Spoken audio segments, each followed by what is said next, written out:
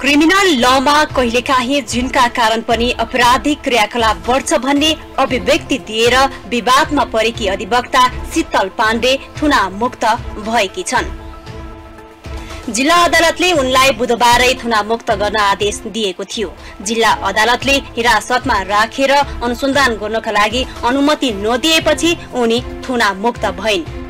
पाण्डेले माफी मागिसकेको र उनले प्रमाण नष्ट गर्ने अवस्था नभएको भन्दै अदालतले उनलाई हिरासतमा राख्न अनुमति दिएन। अब उनले हिरासत बाहिरै बसेर मुद्दा लड्ने भएको छ। टेलिभिजन अन्तर्वार्तामा अधिवक्ता पाण्डेले दिएको अभिव्यक्ति विरुद्ध नेपाल तामाङ खेदुङको तर्फबाट कुमार सिंह घिसिङ र नेपाल मगर संघका ज्ञानेन्द्र पुनले जातीय भेदभाव तथा छुवाछुत गर्न नहुने कसुरमा जिल्ला प्रहरी परिसर काठमाडौँमा जाहेरी दिएका थिए। जाहेरीपछि फरार भनिएकी पाण्डेलाई तामाङ समुदायले चोरको दबाव दिएपछि बुधबार पक्राउ गरिएको थियो।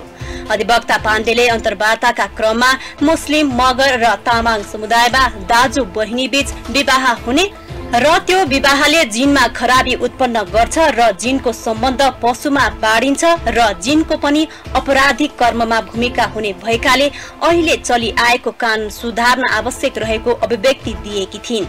साथै नेपालको कानूनले हात नाता सम्बन्ध वर्जित गरेपछि प्रथा र परम्परा अनुसार चलिआएको समुदायमा छुट दिएको पाण्डेको भनाइ थियो।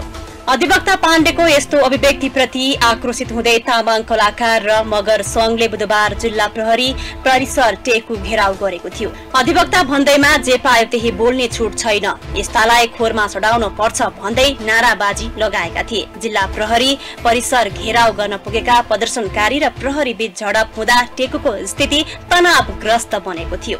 प्रहरीले प्रदर्शनकारी हटाउनका लागि अश्रु ग्यास पनि प्रहार गरेको थियो। प्रहरीले ढुङ्गा मुडा प्रहार गर्ने अठाइस जनालाई नियन्त्रणमा लिएको छ।